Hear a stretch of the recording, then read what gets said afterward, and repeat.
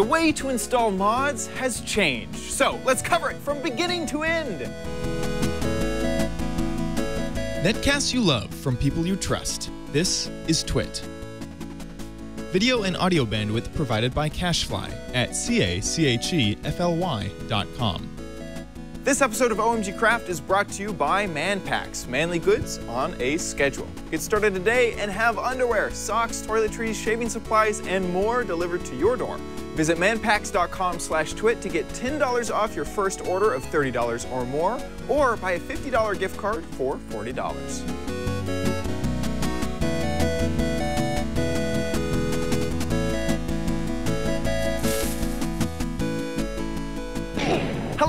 And welcome to OMG Craft. I am your host, Chad Johnson. So, first off, let me talk to you about mods. Yes, we have already done an episode about modding your Minecraft client, but that was way back when we were on Minecraft 1.5. Whatever. So, this is a new and updated version for Minecraft 1.6. We have received tons of email from you guys wanting us to retouch on this topic. So there are a few other tools you will need when modding your Minecraft game, but all of these tools should be free and from trusted sources, so just follow our direction. First, uh, before we actually get into modifying the game, I want to cover what you're actually doing. What we will be doing is cracking open the master file of Minecraft. This is a file that has tons of other little files that make up the program of the game. These are called class files. When you modify the game, you are actually changing these class files, therefore changing the game. In this tutorial, we're going to cover both on the Mac and the PC, but in the last video, we ran through installing these at the same time, which was a little bit confusing to some people. So we're going to do the PC first and then the Mac second. Go ahead and run Minecraft for the first time if you haven't. That'll make sure that your current version of Minecraft is uh, downloaded and installed go ahead and hit your Windows key, then type in percent app data percent, and this will drop you into your roaming app data folder. Go find the .minecraft folder, and in here, go ahead and find the versions folder.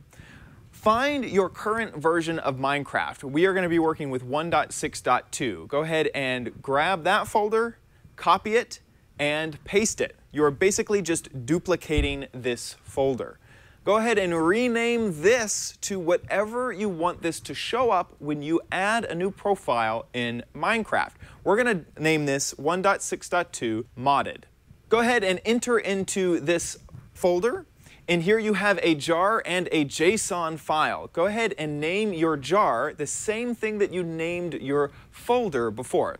In the JSON file, same thing, rename this. Go ahead and open up the JSON file and uh, change the ID from what it used to be, 1.6.2, and add what you named your file. Now, back out of that, go ahead and save it and open up this Minecraft jar. We are going to use a program called 7-Zip. This allows you to just go ahead and open that file without doing anything. It is wonderful.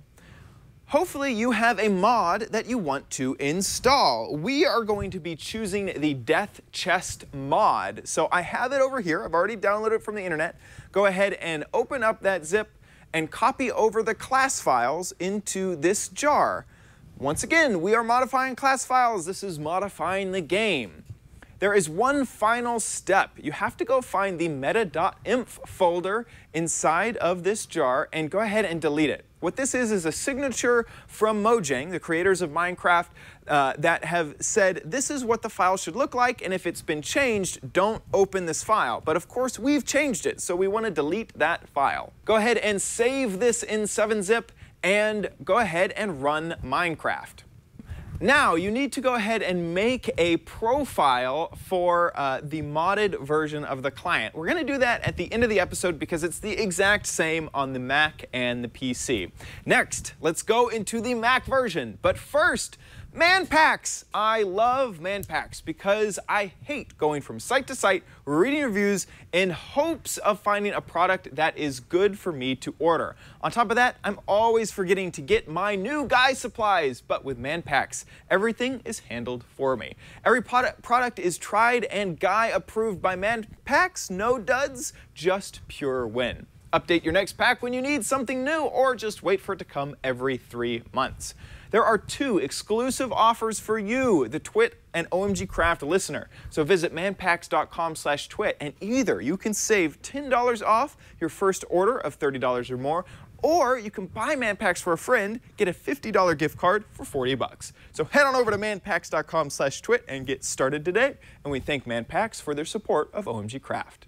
So we need to navigate to the Minecraft folder. So if you're on your Finder application, go up to the Go menu at the top of the window and hold down Alt, and Library will magically appear there. Go ahead and click that. Then in Application Support, navigate to the M's to find Minecraft. And then we are going to go down here to Versions.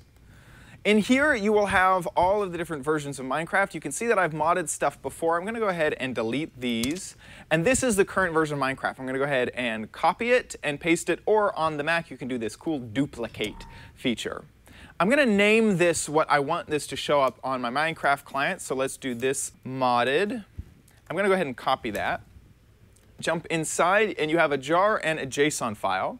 Go ahead and rename your jar go ahead and rename your JSON file. Go ahead and edit the JSON. I'm going to use Sublime Text to do this uh, because it's free and I just really like the, uh, the interface. Go ahead and paste that in there and save that out, close out of that. Now in here, you can use a, uh, a thing called BetterZip, but this costs around $10. So I'm going to show you how to do it without it. Go ahead and change this to zip. And it will say, do you want to use jar or zip? Go ahead and choose zip. Then you can unzip this, and now you have a folder. Go ahead and open up this folder. Uh, navigate to the mod that you downloaded before. So I have to go into my downloads. This is the Death Chest mod, which we're using. Uh, and it, it, just has this single class in here. So I'm going to drop this class into the jar that I opened up and replace, yes. Now, uh, of course, you have to delete the meta.inf. This is the signature from Mojang saying nothing has been futzed with, but we have futzed with it, so go ahead and delete that. Grab everything. I just used uh, Apple A to select all of the class files. Go ahead and right click and choose compress. Uh, the compress 1,561 items. and it will give you the bottom of the list down here uh, an archive. So here we let's just search for archive. There it is, Fine, found it. Okay, here we are, here's your archive. Go ahead and copy that, and we're gonna move out of this folder. You can do that by right-clicking at the top here. Uh, and now we're here. I'm gonna go ahead and paste this. Now we've created a whole bunch of files. This was our original uh, jar right here, then we unarchived it. We're actually gonna delete both of these because I'm, I'm showing off the way to do this without spending any money. So there's easier ways to do this, but this way is free. We're gonna go ahead and copy that name, rename this, that, and then instead of zip, make this a jar. And yes, we do want to use jar. And there we go. So from right here, everything is the same. Uh, I'm just gonna go ahead and do this on the Mac side of things. So if you're coming over from the PC how to mod, this is where you start to watch uh, how it's done. So when you're here in Minecraft, go ahead and choose new profile. You don't have to do this, but I like to do it to keep track of what has been modified and what hasn't. So we're just gonna name this OMG Chad modded. And then under here, use latest version, you actually now have your modded version, which you have created. Go ahead and click Save Profile. We can go ahead and play. And if we did everything correctly, Minecraft should launch. I'm going to go ahead and open up this single player world, and I have a death world. Let me go ahead and make this large.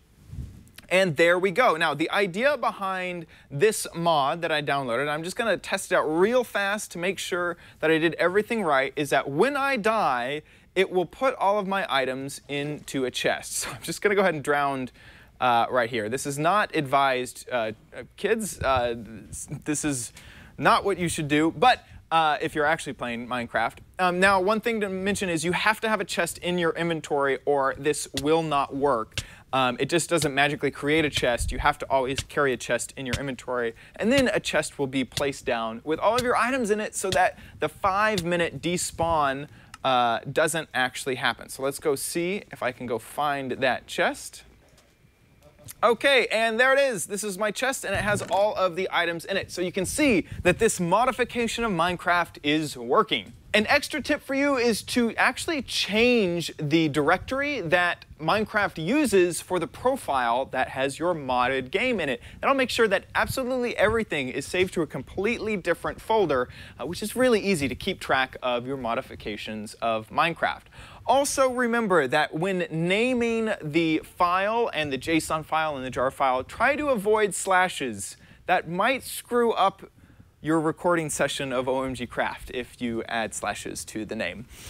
Uh, and then finally, if you're trying to layer mods on top of each other, it can get a little bit confusing because these mods are changing class files. But let's say two mods need to change the inventory class file or something like that, they could actually overwrite each other. And that's why if you're really going to get into modifying your game an awful lot, I would suggest something like Magic Launcher or uh, MC Patcher to sort of mitigate all of those modifications. And then we haven't even gotten into Forge, which is a modding API, which allows you to do all sorts of crazy stuff. So just remember, if you're getting into the world of modding, there is a lot to cover, and this is just the start of modifying your Minecraft game.